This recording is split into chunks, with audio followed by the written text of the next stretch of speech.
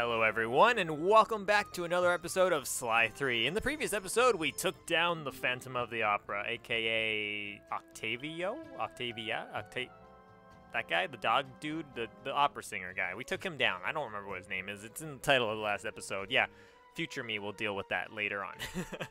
anyway, we're starting a new episode today. Let's go. The Rumble Down Under, episode 2.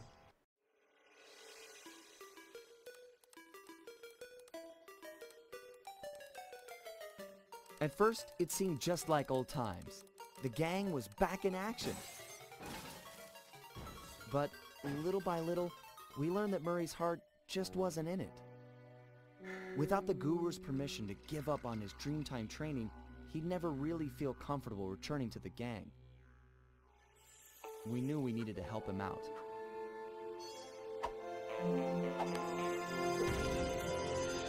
So, we packed up our things, whipped up some quick disguises, and headed for the Australian outback.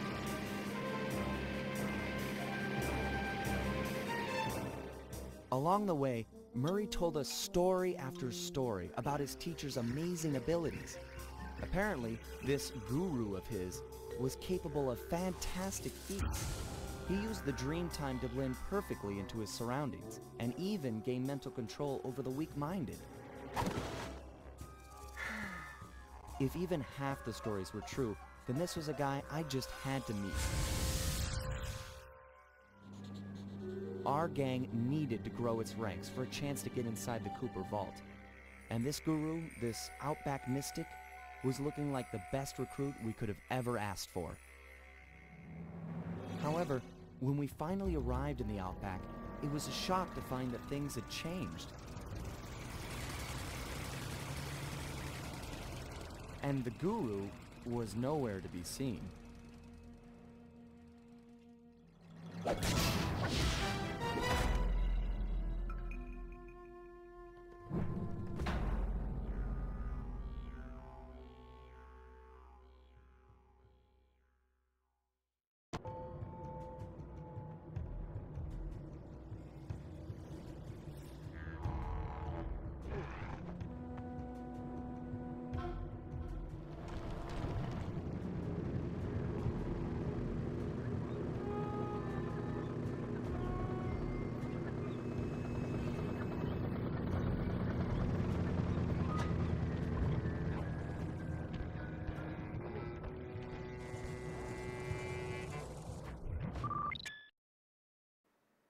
New training challenges available from Murray in the hazard room. Would you like to play? Uh, I want to say no, but they might teach us something new, right? So let's go.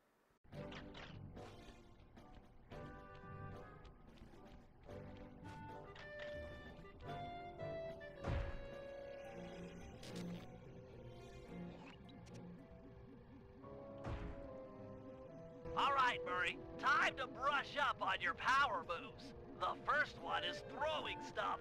Pluck it and chuck it. That's me. To pick something up, just get close and hit the circle button. To throw, just face your target and press the square button. Circle, square, ain't hardly fair. Looks like I've got plenty of rocks to throw with. Try breaking all those pillars. Can do. Okay, now Murray sounds the same as he did in the other game. Why'd he sound off for that first bit? Maybe it was because he was enlightened? Nice job. You can also pick up guards when they're knocked out. Great. I knocked the small guys out with one punch. You might have to be a little more subtle with the big flashlight guards. They're pretty tough. Sneak up behind this guy and sucker punch him while he's not looking. Then pick him up and throw him at the pillar. Gotcha. Sneak up, sucker punch, grab, throw, destroy. Kid stuff. Let's see what you got. Murray's back, boys. He's back. All right, let's go. Sucker punch with triangle. I think triangle's a sucker punch. Maybe it's just a regular punch. An easy way to knock out guards is to throw something at them. Ah, the old rock to the head routine. Yep, throw a rock at that guard to knock him out, then pick him up and throw him at that pillar. Can do, little brother. All right. So far, so good. Grab him while he's out!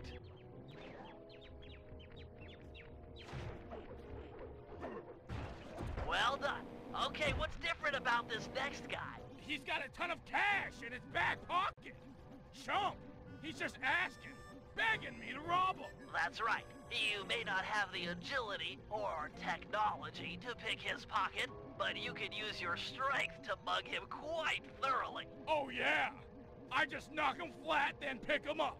Once you've got him above your head, press the circle button to shake loose any coins he has and collect the goods. Keep at it until he's empty. The Murray will give this high roller a shakedown he'll never forget. Oh, so we can pickpocket them as well with Murray. I was so focused with that. I missed what the button was. I missed what the button was. Shake him with circle. Okay. I was so like amazed by the fact that we could uh, pickpocket as Murray. Excuse me? Do I have to beat him and pick him up first? Is that what they were talking about? Oh, that's great. That is so good. I love how they have their own styles, each of them, and then we just throw them. Okay, Murray. The juggle grab is one of your most powerful moves. You ready? Born ready. When facing off against smaller opponents, you can knock them into the air with your triangle button uppercut, and then grab them before they hit the ground by pressing the circle button. Okay, okay. Let me see if I've got it. Hit them with my triangle button uppercut, then yank them out of the air by pressing the circle button. That right? You got it. For this test, you'll have to pull it off three times and throw the guards at that pillar over there. Don't waste your time trying to fight them. Just focus on the technique. Bring on the pain. Very cool. Okay, let's try it out. This is why we do it, though, because then we can do all these new moves. I'm glad we did do this. Good old tutorials.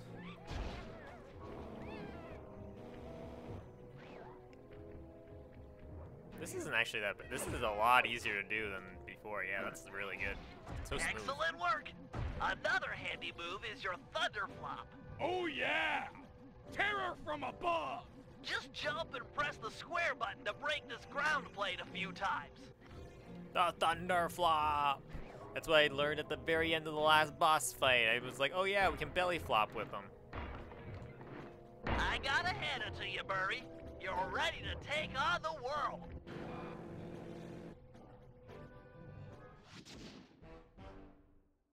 Oh yeah. We're done in here. Head outside and crack some skulls. Nice, nice.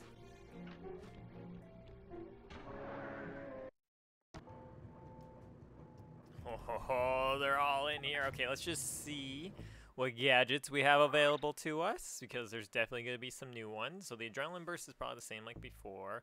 Health extractor, we didn't really get to use that in the last game. We got it, but we didn't really properly use it. Berserker charge. Okay, that's like running into them. Combat dodge, yep, another thing. Knockout dive, leap at enemies, leaving them stunned. Okay. Spin attack, press triangle, triangle, and square to do a powerful. Hmm. Okay, level two on that. Sure. Once again, we're just like favoring Sly stuff, but we gotta get. I gotta figure out a way to get more money. I don't know how else to get more money. The miners have really torn this place up looking for opals. Watch your step. They're sure to get rough defending their claim. Oh, an entire Australian level. This is bringing me Sly, or Sly, Ty the Tasmanian Tiger vibes now. Especially when they say opals. Very nice. So let's see. This guy got anything for us to take? What do the coins look like here? Oh, I can see that fast enough. I still can't see it fast enough. Ooh, it's like a little uh, owl, cat, something like that head, some sort of head like that. Anyway, let's let's do some missions. Yeah, yeah, yeah. I'm liking kind of that we don't have to waste time finding clues, but maybe I'm missing something. My master spends most of his time up there in that cave, overlooking the valley and contemplating the depths of deepness. I really appreciate you breaking the news to him that I want to break off my training. No problem, pal. I'm looking forward to meeting him. Anybody you call master must be a heck of a guy. Oh, he's awesome. He'll get inside your head and freak you out six ways from Sunday. Uh, awesome. Why do I feel like this is the guy that couldn't speak in the very beginning when he was like, "Wah, wah, wah, wah, wah," and then we're and Bentley's like, oh yeah, I know exactly what you're saying, and it's like, wait, what? What are you talking about? Uh, I didn't see there was a guy there. I thought we had to come up here to grab. Oh my goodness, that worked. I can't believe that worked. Do I crawl in here? Hello? How's this work? Is that an alligator? It's a kangaroo? Oh my goodness, it's a big green kangaroo. Wait, that's this isn't where I'm supposed to go? After all of that? Okay, we'll just we'll go this way then. Fine.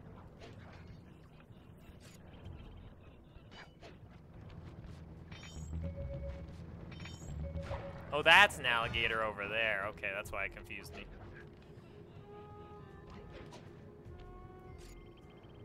Okay, why did I have to come all the way up there to do this? I, I figured out how to get over here my own fancy way, which was jump over here.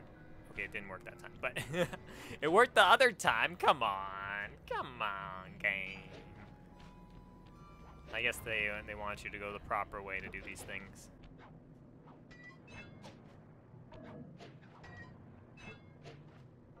And now we do it again.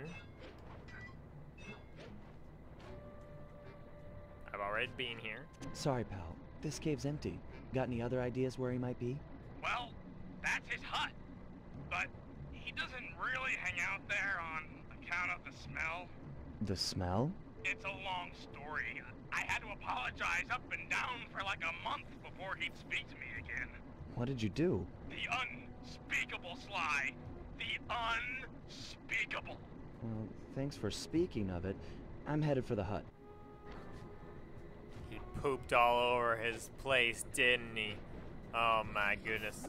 Oh, I like the little kangaroo's hat and everything. That's a nice little character design. Very cool.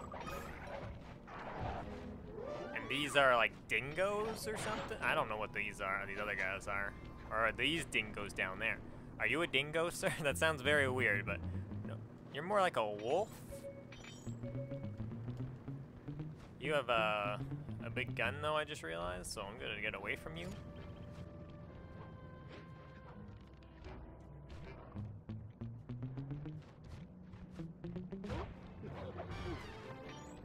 This place is packed with wall hooks. The miners must use them to haul up their drills. Looks like you're going to get some rock climbing practice. Oh boy, my favorite. My favorite of all. Ooh. Oh crap. I'm really bad at grabbing onto these. Oh man, throwbacks. Okay, we did it. Why is the water green here? Is this the unspeakable that he was talking about? Did he do something unspeakable into the water supply? Sorry, Murray. Nobody's home.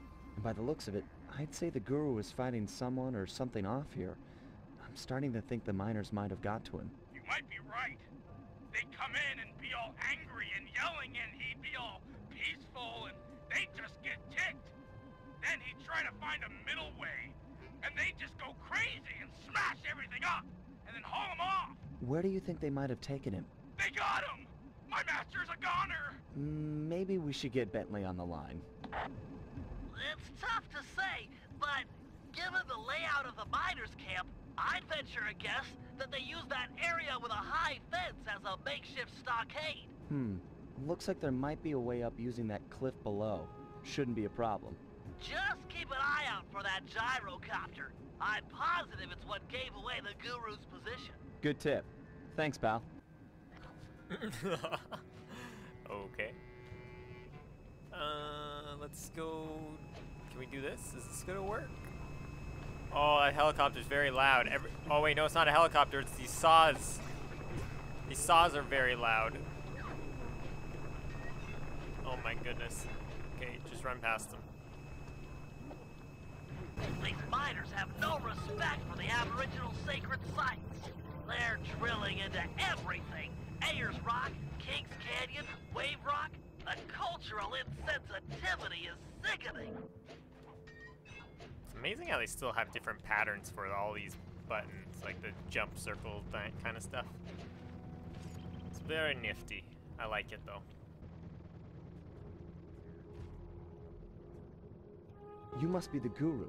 I'm a good friend of Murray's. He's come asking to be released from his training. Sure, I'll just bust you out of here and we'll go talk to him.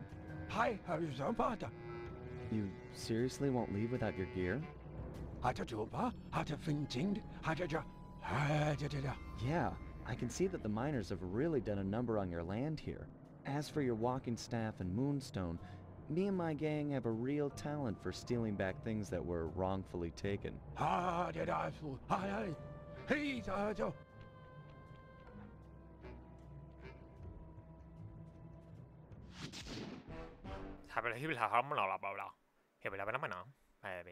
Bad building.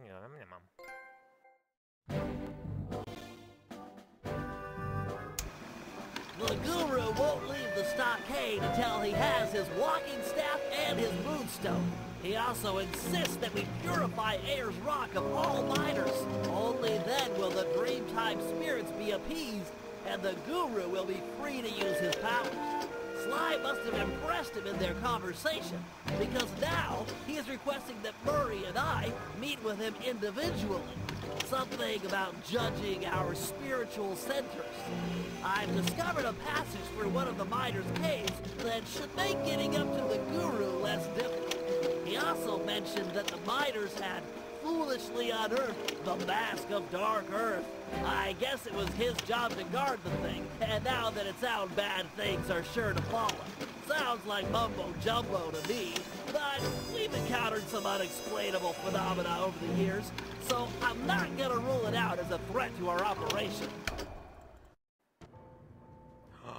The bad mojo throwback. Oh my goodness, he's eating a pizza. That's amazing. Uh, so it's a mask. Outback operation. All right, all right. So there's a mask on the coins. That's very nifty.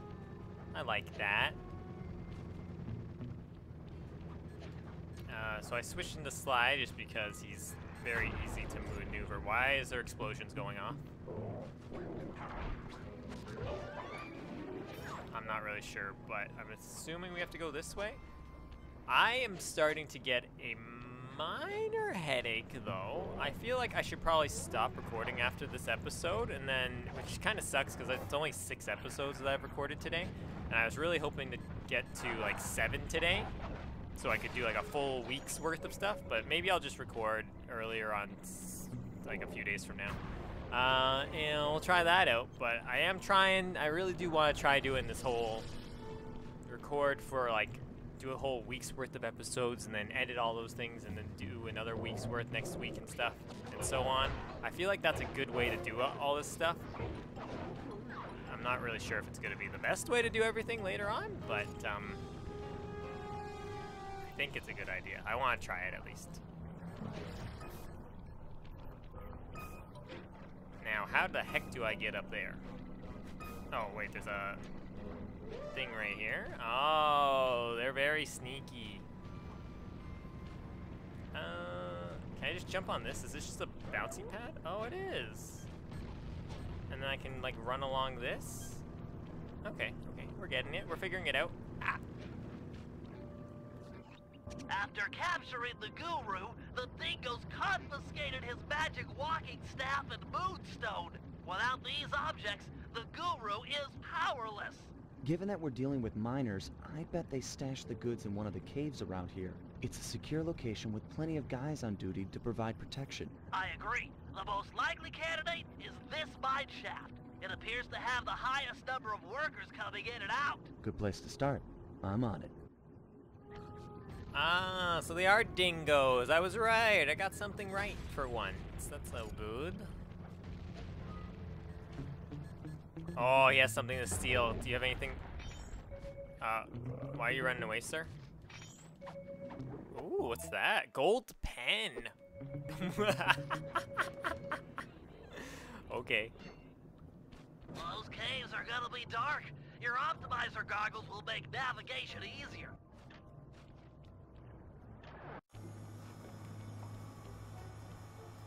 If they're here, the Guru's items would be stashed at the far end of this cave. Whoa. Big Jak and Daxter vibes, man. Huge Jak and Daxter vibes.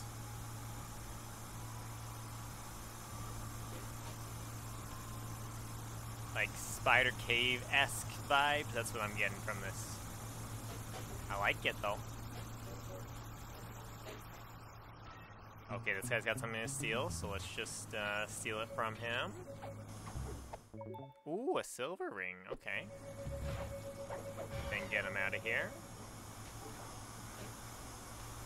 Uh, oh, we got spire jump on the ends of these points. okay, please, game? Are you not? Do you not recognize me as spire jumping right now? Okay, there we go. We're like one hit away from death, but I've done it. And now we're just gonna take these coins out of this guy's back pocket. Good, you gave me some HP. I'm not into tearing up the environment or anything, but these caves are rich with opals. I can see why these miners are so driven. Ooh, rich with opals. Opals are such a cool rock, man. They're very nifty. The only reason I know about them is from Sly. Sly. Once again, I'm doing Sly. It's Ty, the Tasmanian Tiger. Is there a reason why they all rhyme? It's a different studio that made the game, but um, still. Oh, we haven't done one of these yet since we figured it out last time. Okay, wait, wait, wait. Figure it out. Go slowly around it. It's right there. Okay, then we go back.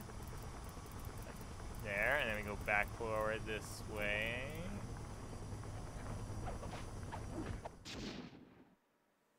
Time to take you back to your rightful owner. These miners are smarter than they look. They booby-trapped the moonstone. It looks like a light-sensitive detonator. If I can get it outside and into the sunlight, it should power down. Oh man, it's one of these timed mission thingy Meduse. Okay.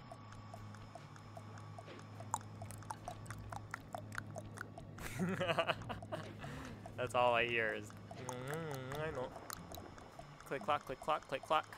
Click clock move, click clock move, run past them all, run past them all, don't worry about them. Spire jump, spire, spire, spire, spire jump, spire jump. Spire jump, spire jump. Uh, where do I go from here? Where do I go from here? You want me to jump down here onto these things? Oh, everything's standing still for me. That's good, I guess. This is the right way, though, right? I don't even know if it's... Oh, there's a hook right there on the edge. I see it, I see it. Alright, let's try this again. I didn't even think to look over on the right... I didn't even think to look on the right side, though, last time. There we go.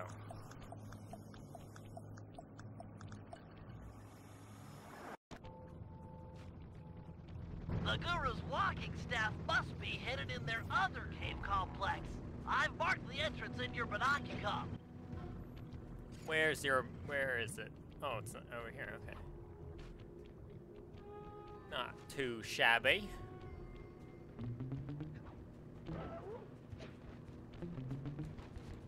He's scratching behind his ear and his legs tapping. That's so good.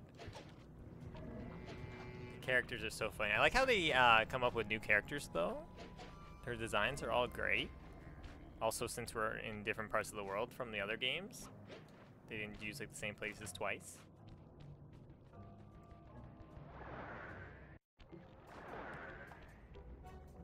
These caves have no ambient light whatsoever. Fortunately, it seems the Guru's moonstone is providing enough illumination to let you see.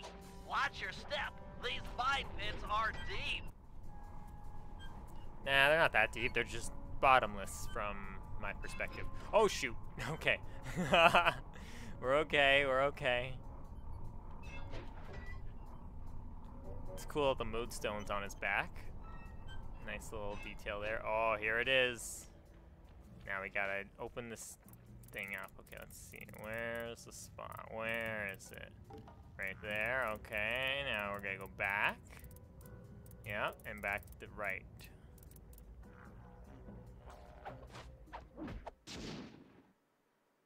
Wonder what's so special about this staff.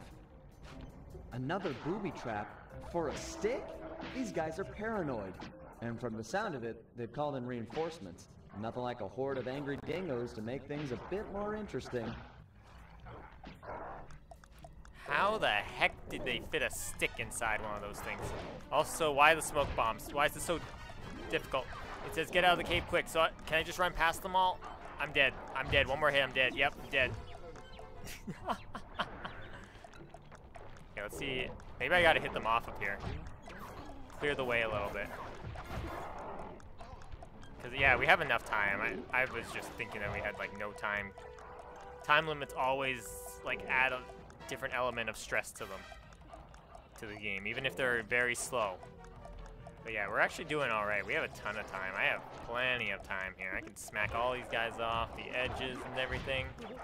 Oh my goodness, how do you guys all see me? You're AI controlled, you're cheating. You're cheating, you're all cheating. I'm out of here, bye. Oh, this is slippery. Gotta make sure we jump and land on each of the rails properly.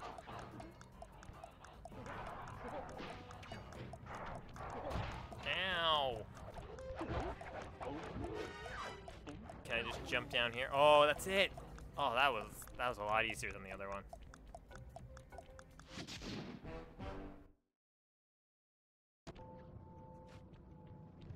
We made it! We did it! Whoop, whoop, whoop. So the only place left to go is the safe house. Well, uh, I think that's going to be where we're going to leave this episode. So I want to thank everyone for watching this episode of Sly 3, and I hope you have a great rest of your day. Goodbye for now, my friends. Oh my goodness, we're going to get attacked by whatever that is.